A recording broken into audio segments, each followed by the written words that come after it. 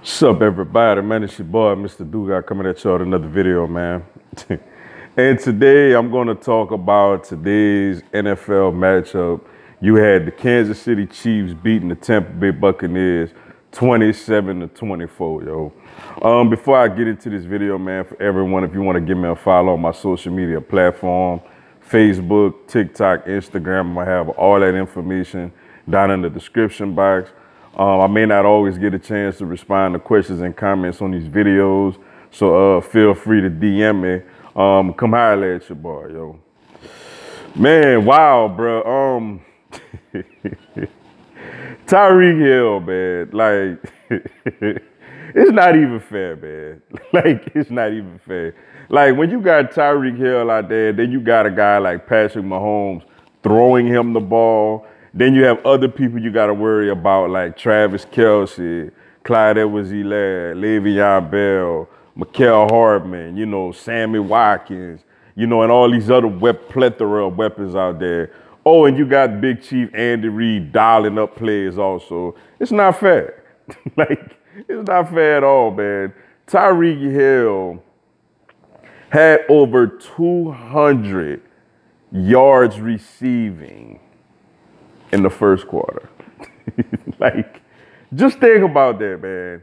In the first quarter, yo. That's that's absurd, yo. That is unheard of. Like I said, that's just flat out not fair. and somehow, some way he manages to do it, yo. Um, but you know, you gotta give credit to Tampa, man. Though Brady threw two bad picks. Um, they fought back, man. Mike Evans had a nice day. Um, it looks like as the game started going on and on, um, Tampa Bay, um, Tom Brady started figuring a few things out, you know, with the, um, you know, with this offense, with the, um, with the system and everything. Uh, man, they fought hard, man. They fought back, man. Gronk had over 100 yards receiving. Um, Ronald Jones had a nice catch and run for a touchdown. Um, so, you know, they fought hard. Obviously, they're going to be a tough out. Um, they're going to be a wild card team, but they're going to be a tough out on whoever they got to play. Because um, you would think that with more and more time that, you know, Brady is in this offense, that the offense going to just get better and better. Um, the problem with them, though, is as hot as their defense um, was to start the season, they really tailed off, man. Like, coming into the year, you know, obviously I love Tampa Bay's front seven you know, with Shaquille Barrett and, and, and Suh and Pierre Paul, you know, the big homie Devin White, um, Lavonte David and those guys. I thought they front seven could, could compete with pretty much any front seven in the NFL. My concerns was their back end. And early on, their back end was actually handling their business. But now, you know, particularly the last two home games going up against, you know, Jared Goff and today Patrick Mahomes, who I mean, they got they got picked apart, yo. They played a little better as the game went on, but they the damage pretty much was already done, man.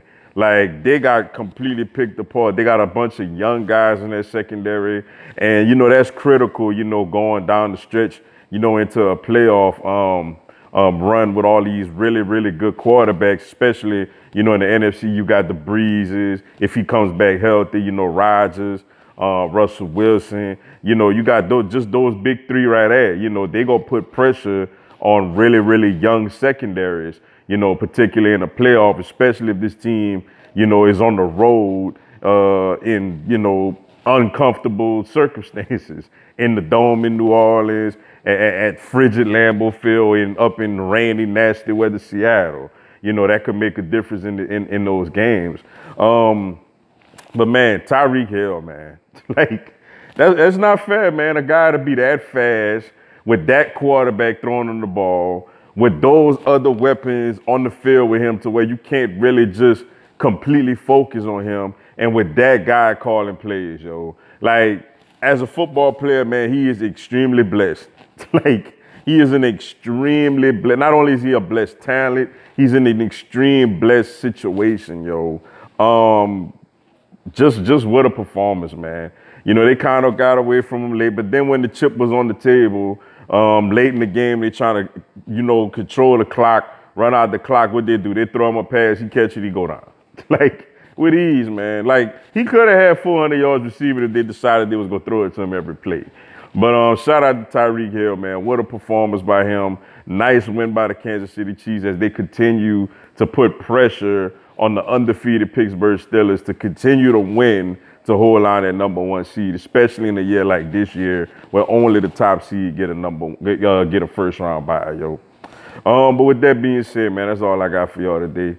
Appreciate y'all checking out the video. Hit the like button for your boy. Give me a subscribe, man. I'm gonna have Philadelphia Eagles and NFL content throughout the year. Also, this coming Tuesday, 8 p.m. Eastern, 7 Central, 5 Pacific. I'm gonna do a live Q&A. Y'all come on there, ask me anything, tell me anything. I'll answer your questions, respond to your comments, and give you a shout out on the live, yo. Y'all should join me. It'll be some good stuff. Until then, yo, y'all have a blessed one. Fly, Eagles, fly.